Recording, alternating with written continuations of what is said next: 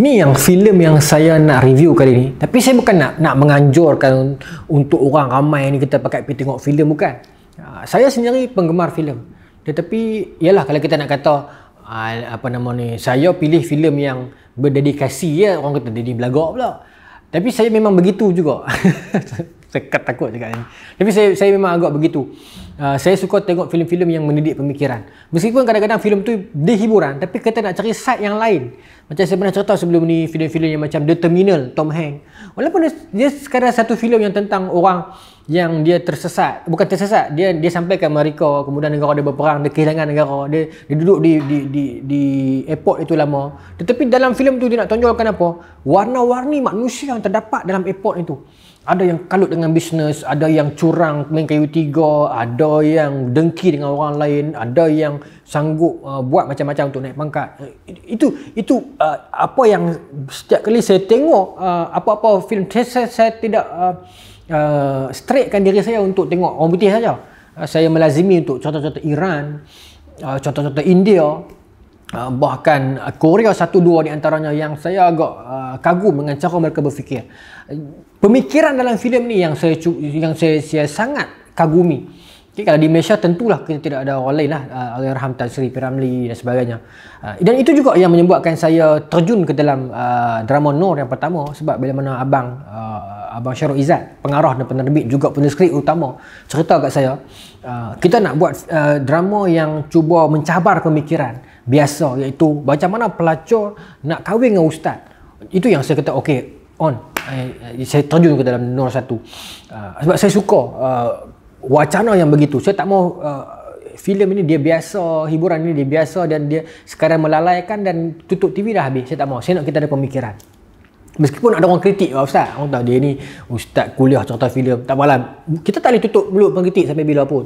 Okay? Ha. Tapi yang saya nak kongsi kali ini ni, uh, Ustaz Zam ada uh, filem platform, dia platform. Uh, saya baru ni didatangi oleh satu orang uh, sahabat kita lah geng muda ni dia kata ustaz ustaz dia bagi satu pen drive dia ustaz kena tengok filem ni di platform uh, di Netflix uh, Jerman punya filem uh, cerita tentang satu platform okey uh, orang kalau orang nak kata spoiler spoiler pun spoiler lah tak apalah filem tu dah lama. Iaitu cerita pasal platform ni penjara saya dia penjara iaitu penjara tu orang ada orang yang masuk kerana hukuman ada orang masuk secara sukarela. Dalam filem ni uh, hero tu dia masuk sukarela sebab dia nak melupuskan tabiat ketagihan merokok dia so dia dia pilih untuk masuk penjara tu. Jadi uh, sukarela. Sebab penjara tu special. Penjara tu platform ia bertingkat-tingkat dia bertingkat-tingkat daripada tingkat atas sampai tingkat bawah tingkat 350 Okey. Yang menarik dalam filem ni, kalau kita tengok kata nak tengok filem, kita rasa macam okey, cerita dalam penjara. Bukan. Platform itu menggambarkan kehidupan kita ini. Golongan atas dan golongan bawah. Kenapa? Di dalam platform itu, tengah ada ada lubang, ada lift akan bergerak daripada atas sampai bawah. Itu cerita dia. Ini ini ini adalah subjek cerita ni daripada awal sampai habis. Yang mana tingkat atas sekali tingkat kosong dan atas lagi pada kosong tu adalah restoran atau adalah dapur yang sangat besar dan mewah yang mana para chef-chef terkemuka yang depa sampai tahap satu helai rambut pun jangan jatuh dalam makanan.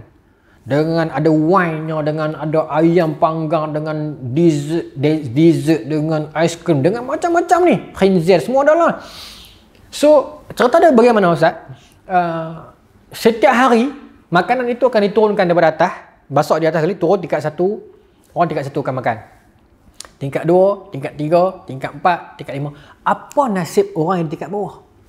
Oh, yang tu saya rasa macam, gila lah pengarah ni. Kan? Bila saya tengok tu, saya rasa, oi, gambar ni memang power lah. So, dia cuba menggambarkan kepada kita, itulah realiti dunia sekarang. Mungkin dia bermaksud macam kapitalis sebab orang orang atas dia akan makan kau-kau punya. Sampai di bawah ni, dia sampai tingkat 350, tingkat uh, 60 dah habis lah makanan. Dan, dan Ustaz, Dah lah habis. Habis pecah pecah pecah habis. Kemudian dengan bekas ludah sebab dia ludah dalam tu balik, dia kenat. Sebab apa dia ludah dalam tu balik? Ha, saya saya cerita. Ludah dalam tu balik. Kemudian ada yang kencing dalam tu. Oh, jadi macam kenat. Orang atas ni. Kemudian kan, bila uh, hero ni nama dia Goreng, nama dia. Okay. Bila first day dia masuk, dia jadi macam heran tau. Bila dia makan sikit, kemudian bila dia boleh nampak lah makanan dia tu turun ke tingkat bawah. Dia boleh nampak orang bawah sebab dia lohong lubang yang besar. So dia kata kat orang bawah, uh, jangan makan perhabis, di bawah sana ada orang lagi. Partner dia, satu pakcik tua yang dah duduk sebelah bulan dah, nama dia Terima Gazi. Partner dia kata, jangan cakap dengan mereka. Dia marah, hero ni, jangan cakap dengan mereka di bawah. Maka kata, hero ni kenapa? Jawapan pakcik ni apa dah? Sebab mereka di bawah. Uh, lepas tu, hero ni pun Pergi kat atas pula, tingkat atas.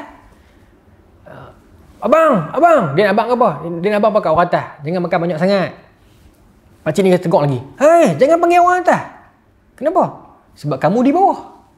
Pun takkan jawab kamu. Nampak? Itu situasi yang bila saya tengok filem ni, saya nampak politik, saya nampak masyarakat, saya nampak macam-macam.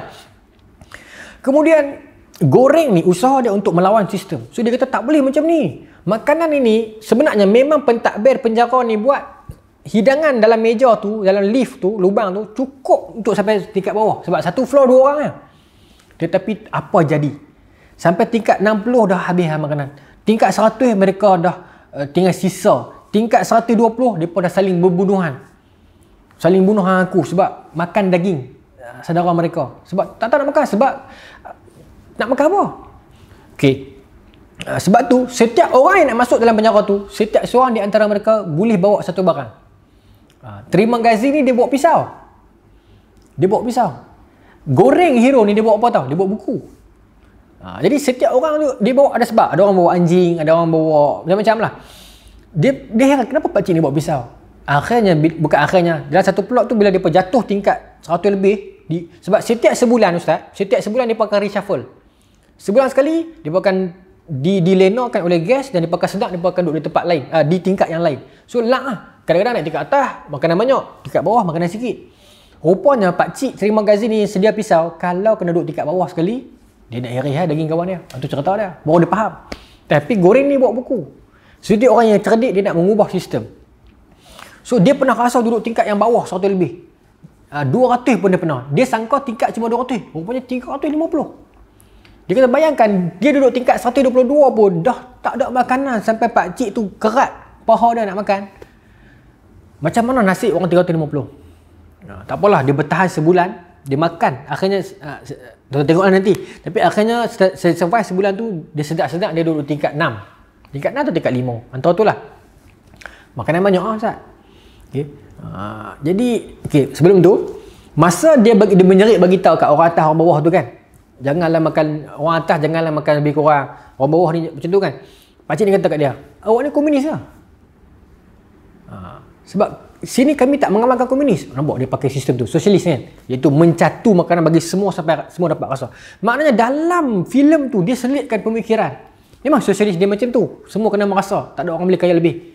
Okay? Ha, ada pro and con lah dua dasar ini kemudian uh, saya tinggalkan satu yang, kita tingkat lima tu sebelum tu. Dia dia dapat satu tingkat. Tak silap saya dalam 20 lebih 30 lebih lah antara yang awal juga lah. Dengan satu orang perempuan perempuan ni uh, dia ada semangat macam goreng ni. So setiap kali makanan tu sampai dekat dia dia akan ambil ambil persi-persi dua pinggan dia letak tepi. Apa idea perempuan ni?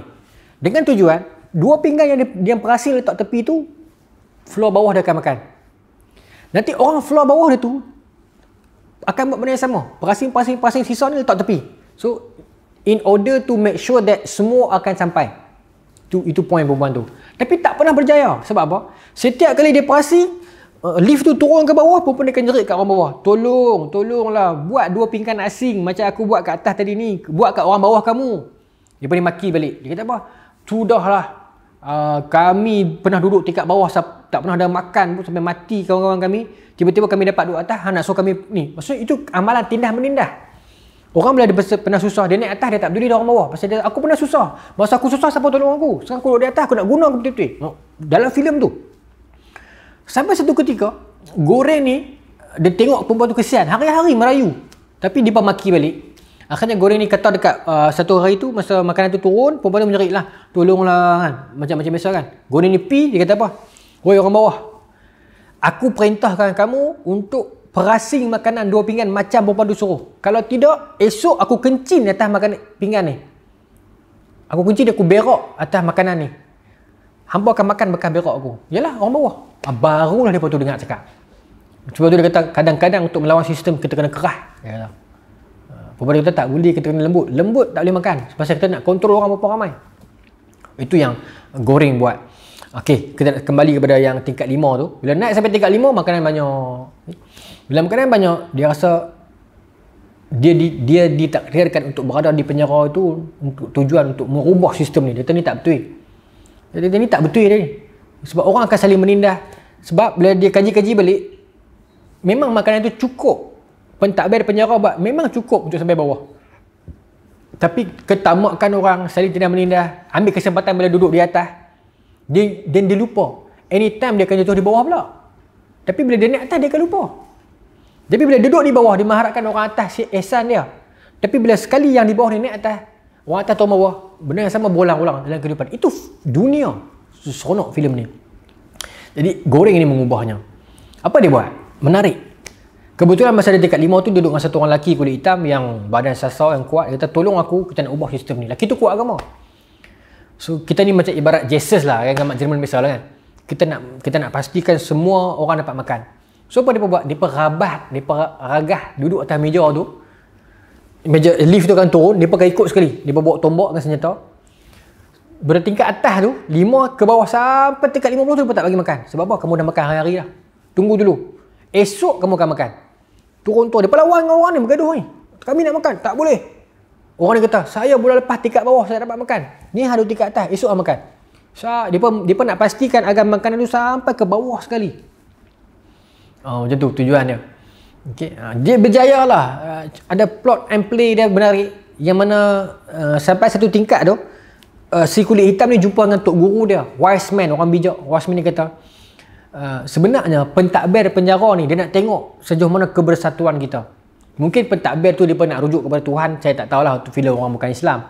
Tapi menarik sebab dia kata, cuba kamu fikirkan macam dalam banyak-banyak hidangan ni, cuba cari satu hidangan yang bila mana lift tu turun sampai tingkat 350 nanti dia naik balik atas sekali pun hidangan tu masih tak ada sentuh itu membuktikan ke, ah, kamu memang hebat so saya rasa kalau benda tu berlaku mungkin penjara tu akan dibuka semua orang boleh bebas tapi cerita tu dia tinggal tergantung untuk kita fikirkan apa jadi jadi tuan-tuan boleh tengok dekat Netflix uh, saya tak kena mengenal pun dengan company tu saya tak tahu saya tak promote tapi saya nak promote pemikiran yang ada pada perfilman tuan-tuan tengok Menasa tentu akan nampak depan mata tuan-tuan ini yang berlaku dalam masyarakat kita sebenarnya.